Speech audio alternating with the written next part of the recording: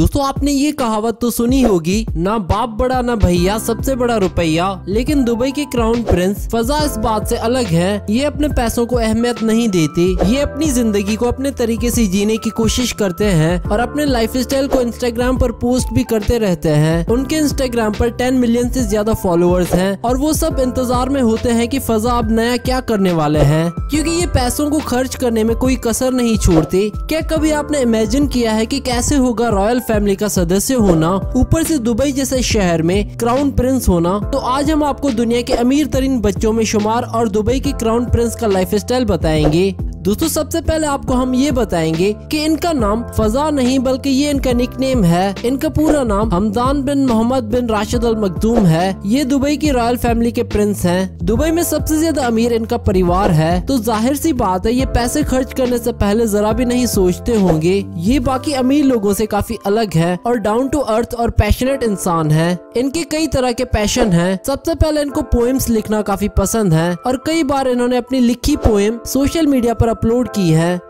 ये दुबई के exclusive council के हेड भी हैं। इतनी बड़ी पोस्ट होने के बाद भी ये अपनी लाइफ फुली जीते हैं। अपने बिज़ी शेड्यूल से अपने पैशन के लिए वक्त निकाल ही लेते हैं वे। जैसे कि इन्हें हॉर्स राइडिंग बहुत ज़्यादा पसंद है। ये प्रोफेशनल हॉर्स राइडर होने के साथ साथ इनके पास काफ़ी बड़ी हॉर्स कलेक्शन भी है। इनके पास करोड़ों की कीमती हॉर्स मौजूद हैं। इनको हॉर्स राइडिंग में गोल्ड मेडल भी मिल चुका है। इस हॉर्स राइडिंग टूर्नामेंट में इंटरनेशनल लोग पार्टिसिपेट करते हैं। आउटडोर स्पोर्ट्स खेलना भी इनकी पसंदीदा एक्टिविटी में शुमार है, जिन पर ये लाखों खर्च कर देते हैं, जैसे की स्कूबा डाइविंग और स्काई डाइविंग और इनके पास दोनों के प्रोफेशनल लाइसेंस भी मौजूद है। दो हज़ार बारह में इन्होंने एक वेबसाइट भी डेवलप की थी, ताकि आम लोग अपने मसले प्रिंस को बता सके, और अब ये वेबसाइट एप्लीकेशन के रूप में भी लॉन्च होने वाली है। इस ऐप के थ्रू आप दुबई में होटल रेस्टोरेंट और पुलिस को ढूंढ सकते हैं, साथ ही ऑनलाइन कम्प्लेन भी कर सकते हैं, और ये कंप्लेन सीधी फजा के पास पहुँचेगी, और आपकी ये प्रॉब्लम फजा सीधी गवर्नमेंट तक पहुँचा देंगे चलिए बात करते हैं इनकी कार कलेक्शन की। इनके कार कलेक्शन में लगभग दुनिया की हर लग्जूरियस कार मौजूद है, जैसे की Rolls Royce Bugatti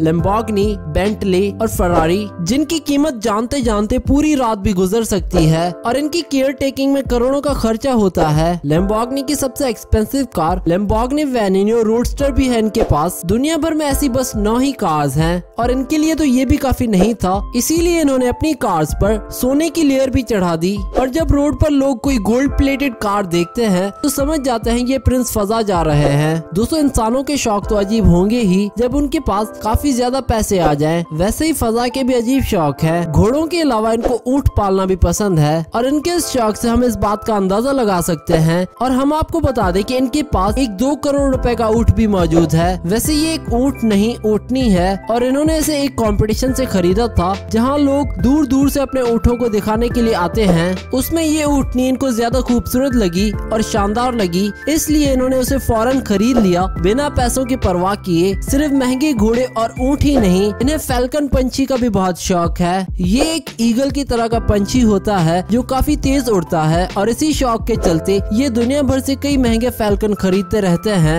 वैसे इस पंछी से लगाव सिर्फ़ इस प्रिंस को ही नहीं, बल्कि दुबई और सऊदी के सारे अमीर शेखों को होता है। फजा इस तेज तरार फैल्कन पंछी को कई जगहों से खरीदते हैं, और जो इन फैल्कन को बेचता है, उन्हें वो मुँह मांगे पैसे देते हैं। दोस्तों फैल्कन काफ़ी ज़्यादा वफादार होते हैं और हमेशा अपने मालिक के पास वापस आ जाते हैं। इसी वजह से इस पंछी को पालना इन्हें काफ़ी पसंद है। इन पंछियों की आँखें काफ़ी तेज होती हैं और ये काफ़ी तेज उड़ते हैं। अगर बात की जाए दुबई के शेखों की और शेरों की बात ना हो, ये तो हो ही नहीं सकता। शेरों को पालना जैसे शेखों का रिवाज बन चुका है। लगभग हर घर में आपको शेर और चीते जैसे जानवर दिखेंगे। फजा के पास कई शेर और टाइगर मौजूद हैं। इनके पास एक व्हाइट लॉयन भी है। फजा को एक बार जख्मी हिरन मिला, जिसकी इन्होंने देखभाल की और पाला और ये हिरन अब बिल्कुल ठीक हो चुका है। वैसे सिर्फ़ क्राउन प्रिंस ही नहीं, आपको दुबई के हर शेख के घर में कीमती जानवर नज़र आएँगे। इतना ही नहीं, यहाँ पर इतने अमीर लोग मौजूद हैं कि ये अपने घर में 100 एनिमल्स को नहीं, बल्कि पूरा का पूरा चिड़िया घर ही बनवा लेते हैं। जी हाँ घर के अंदर एक जू जहाँ शेरों से लेकर जिराफ तक हर तरह के एनिमल्स आपको देखने को मिलेंगे। और इतने सारे जानवरों के लिए इतना ही ख्याल रखने वाले लोग भी हैं। इन एनिमल्स के लिए लाखों रुपए खर्च होते हैं, ताकि वो सही तरह से सरवाइव कर सके। दोस्तों अगर इनके घर की बात करें तो इनके पास शानो शौकत का खजाना है। इनके पास एक दो नहीं, बल्कि कई अलग अलग घर है। आखिर आखिर होंगे क्यों नहीं? ये दुबई के किंग के बेटे हैं और खुद भी होने वाले दुबई के किंग हैं। दोस्तों, आप फजा की अच्छाई का अंदाज़ा इस बात से भी लगा सकते हैं कि इनके दोस्त वाटर जेटिंग कर रहे थे। तभी एक गलती की वजह से वो पानी में मरने ही वाले थे। तो फजा ने कुछ न सोचते हुए सीधा पानी में गए और अपने दोस्त की जान बचाई। ये वीडियो इंटरनेट पर काफ़ी वायरल हुआ।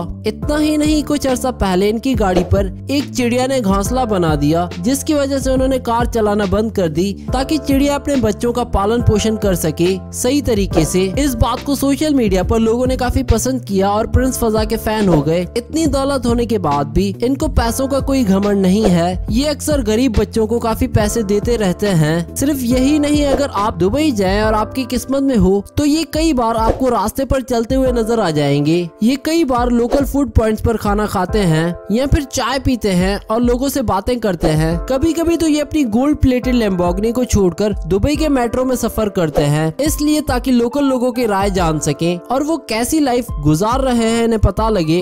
अगर ये आपको किसी लोकल रेस्टोरेंट में मिल जाते हैं तो ये शायद आपसे पूछे कि आपका दुबई आने का एक्सपीरियंस कैसा रहा और कई बार तो ये लोगों को रेस्टोरेंट में ट्रीट भी देते हैं। दोस्तों, एक बार इमेजिन करें कि इतने अमीर आदमी का बेस्ट फ्रेंड होना कैसा होगा। दोस्तों, इनका भी एक बेस्ट फ्रेंड है। ये उम्र में तो काफ़ी छोटा है, लेकिन इनकी बहुत बनती है। आपको ये बात जानकर हैरानी होगी कि इनके बेस्ट फ्रेंड का दुनिया के अमीर बच्चों में नाम सिर्फ़ इस वजह से आता है क्योंकि वो दुबई के क्राउन प्रिंस का दोस्त है। क्राउन प्रिंस शादी शादीशुदा है और इनके दो जुड़वा बच्चे हैं। इनके जुड़वा बच्चों के जन्म पर सलमान खान ने भी इन्हें बधाई दी थी। काम के साथ ज़िंदगी को एंजॉय करना भी ये बखूबी जानते हैं और दुबई के क्राउन प्रिंस होने जैसी इतनी बड़ी ज़िम्मेदारी होने के बावजूद भी ये अपने लिए समय निकाल ही लेते हैं और अपनी लाइफ को ये बहुत ही अच्छे तरीके से एंजॉय करते हैं। तो दोस्तों, आपको प्रिंस फजा की लाइफ स्टाइल वीडियो कैसी लगी? हमें नीचे कमेंट करके ज़रूर बताएँ।